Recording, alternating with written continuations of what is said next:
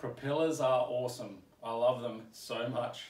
I reckon they're one of the most important parts of your boat. Um, you've got your motor connected to one of these, which is transferred into thrust through one of these. Um, we're going to talk a little bit about the differences between designs. All of these props here fit on the same motor, yet they all perform very, very differently.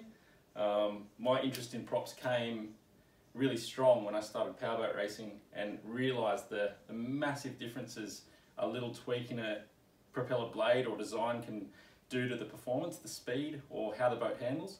So um, yeah, love them so much. I uh, love them so much that I actually built this one from scratch. Um, there's a video on the channel about that um, if you're interested. But anyway, let's get into talking about some of the differences. I will be testing all of these propellers on a boat um, and yeah, max speed, GPS readouts, everything like that I'm going to be doing on those. Um, so if you're interested in that, yeah, subscribe to the channel if you want to. Yeah, as I said, these propellers here are all for the same motor. These ones, these four here, are actually all 11 pitch, so they're the same pitch. But it's interesting when you look at them because you can see that these bottom two, the angle of the blades, looks a lot less than these top two, and yet they're still all 11 pitch. And the reason for that is the rake angle, the angle in here. So these bottom two, the blades are quite a low rake angle. These top two, the blades are connected to the hub with more of an angle like that. So a, a low rake will be a blade that's connected on, you know, pretty square off here, very standard sort of style propeller. Um, and then a high rake propeller will have more of an angle here. So this angle here, where the blades are connected on. What a high rake propeller does is it holds the water in on the blade much better, whereas you know these two here will be more likely to cavitate when you do a sharp turn. Um, yeah, which you know on a on a sort of standard rig that may not be an issue.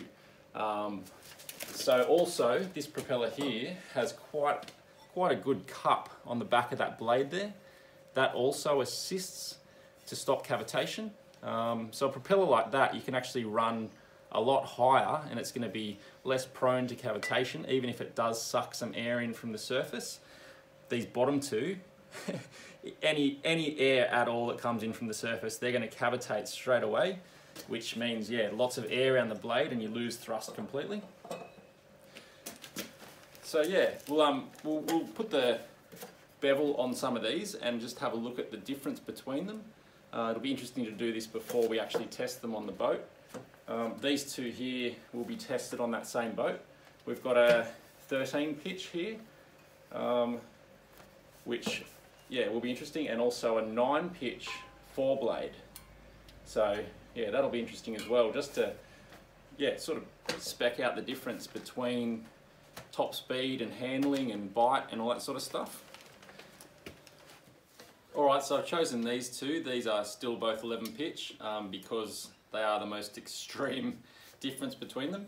That one there is uh, yeah, stainless obviously, but it's very much a copy of a standard aluminium propeller. Very, very, very similar um, yeah, blade shape and rake angle. Um, so, if I put a bevel onto these blades. I'll do it on the top one.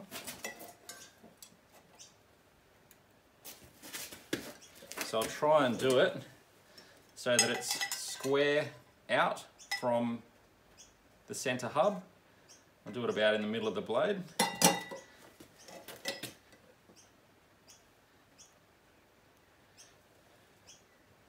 There we go.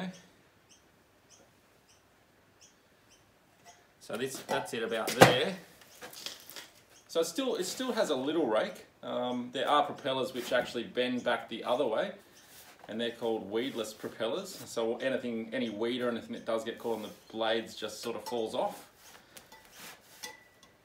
So yeah, very, very big difference there. We're probably looking at about a you know, seven or eight degree difference on the, the rake on those propellers.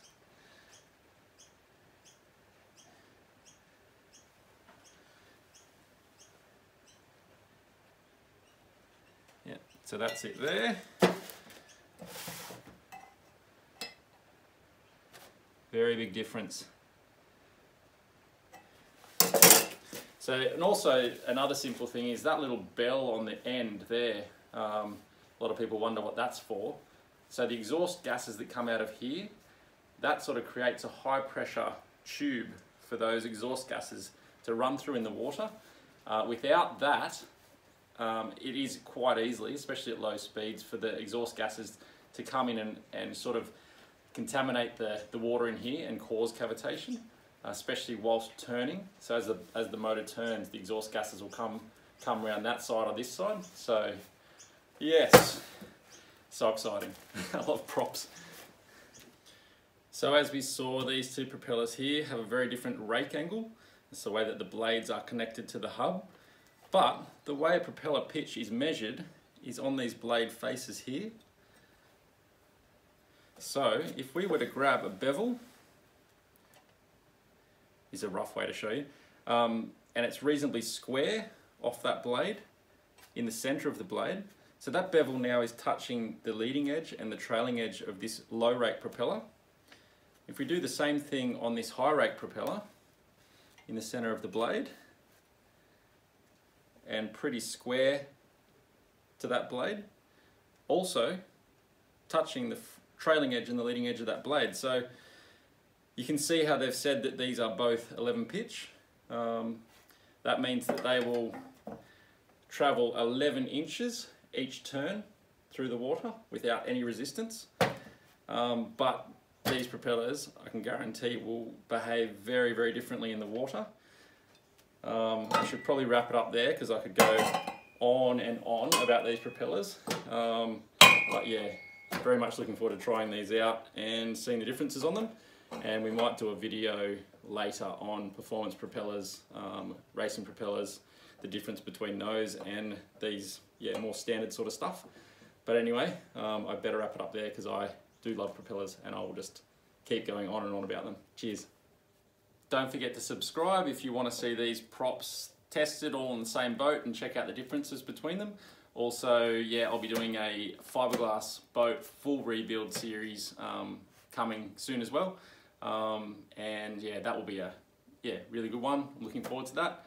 All right, cheers.